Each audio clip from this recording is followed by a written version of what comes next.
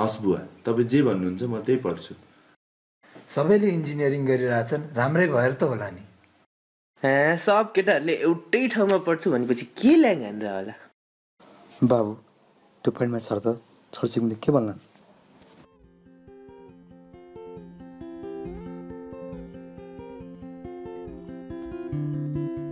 मान्छे त हामी धेरै थरीका छौँ तर एउटै बाटोमा घुचुडिएको छ हामीलाई। मनले केही भिन्नै खोजिरहेको हुन्छ तर दिमागमा भरिएका घर परिवारको इच्छाको बारी र समाजले हेर्ने दृष्टिकोणको लागि हाम्रो अन्धो लगनशीलता कहाँबाट पाउने हामीले मनको कुरा सोच्ने फुर्सद?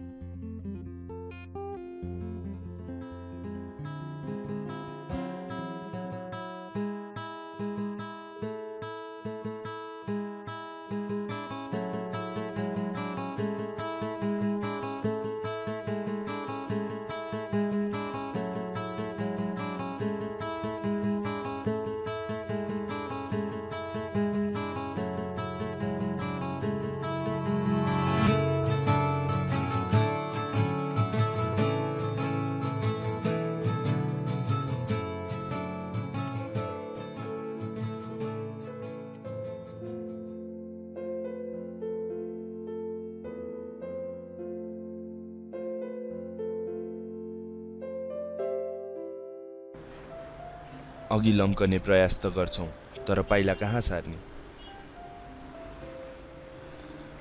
बाटो देखाउने त धेरै छन् तर गन्तव्य दो बाटोमा अल्मलाइरहेको छ।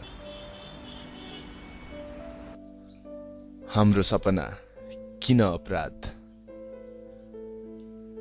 आँसु खुर्की हात पात गाली धम्की मुक्का लात एक बारको जुनी पनि विश्वासघात।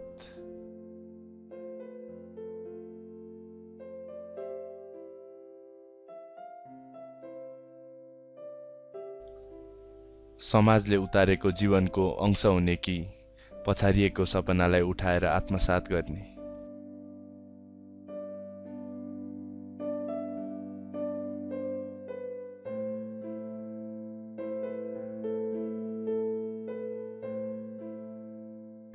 नहुलो हाम्रो यो भिन्नै छ सपना।